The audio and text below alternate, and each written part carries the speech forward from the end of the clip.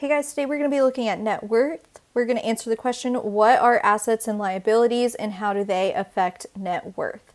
So, an asset is an item or an amount of money that you own, such as your car, the current value of your house, or money in cash and investments.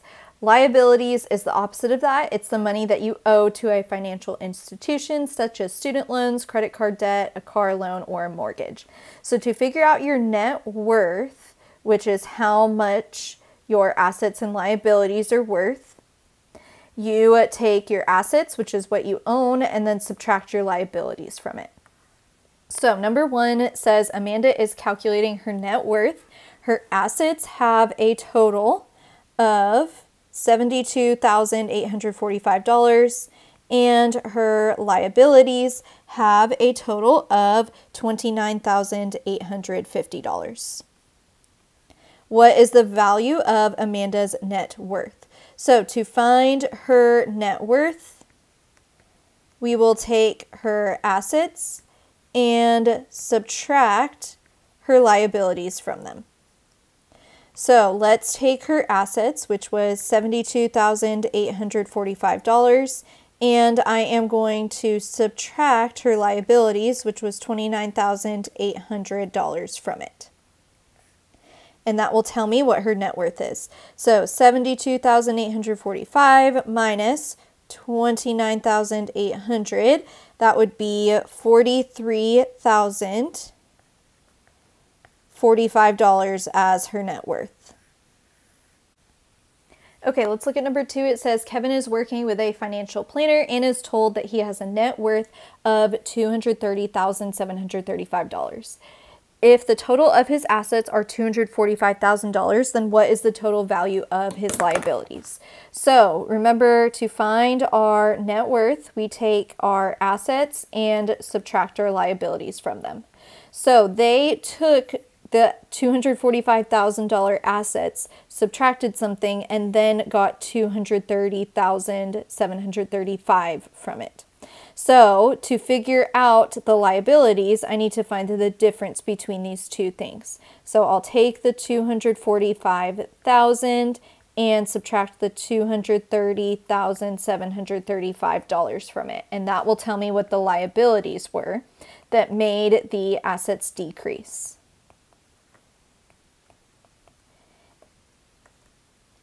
I missed a zero in there. There we go. So that means that the liabilities are $14,625. Let's look at three. It says Jasmine calculated her net worth to be $67,300. If she has a total liability of 12,000, then what was the total value of her assets? So, net worth is your assets minus your liabilities. So, they subtracted 12,000 from the assets and got this. So, to find the assets, I would add this back to it because that's what we took away. So the net worth was 67,300. To figure out her assets, I'm going to add the liabilities back to it and we get $79,300 for Jasmine's assets. Okay, number four says that Dylan wants to calculate his net worth statement, so he writes down his financial information, categorize them into assets and liabilities in the table below, and construct a net worth statement. So let's just go through each of these things. A house would be an asset because he could sell that and get money from it, and the current value of it is $350,000. Mortgage is what you owe, so that's a liability and it is 160,000. Checking account, that's how much money he has, which is 2,350.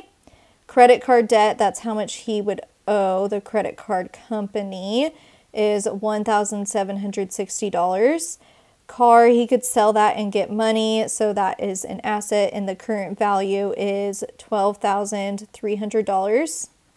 Savings is also an asset, which is $4,000. And then student loans is something he owes, and that is $7,500. So now let's find his total assets and liabilities. I'm going to find the assets first by adding all the assets together.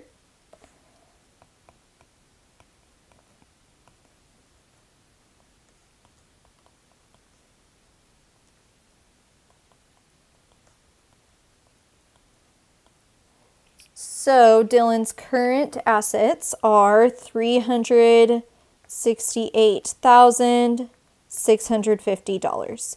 Now let's find his liabilities by adding those together. So 1,000 or sorry, 160,000 for the mortgage plus 1,760 and 7,500 for the debts. So his total liabilities are 169,260 dollars. So now I want to find his net worth. So I'm going to take his assets, were which were $368,650, and subtract the liabilities from them, which was $169,260. So 368650 minus 169 260 his net worth would be $199,390. All right, last one says the table shows Emma's net worth. Assets are shown in positive numbers and liabilities are shown as negative numbers. Emma's net worth is 111 $1,850 based on the information in the table. What is the current value of Emma's checking account?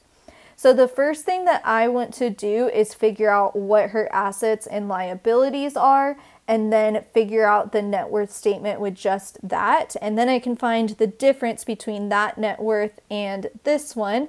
And that will tell me the difference between her checking account. So let's start by just calculating her assets, which would be her house, her investment, and her savings account. So 175,000 plus 15,000 plus 2,500.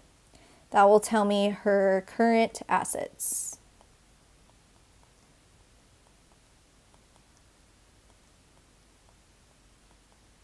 So her current assets without the checking account are worth $192,500. And then we can find her liabilities by adding those things together,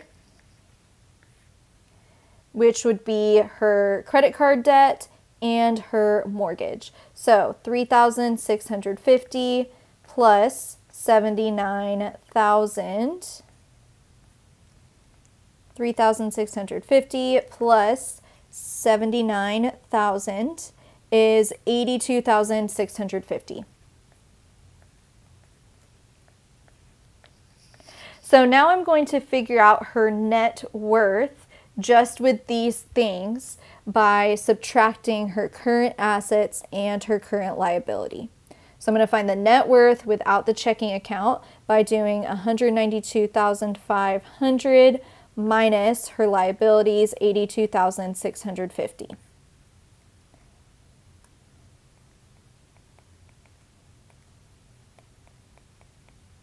And I get $109,850. So that is her net worth without the checking account. And then her net worth with the checking account is this much. So if I subtract those values, I can find how much she has in her checking account. So now I'm going to do 111,850 minus 109,850 and we get a $2,000 difference. So that means that Emma must have $2,000 in her checking account.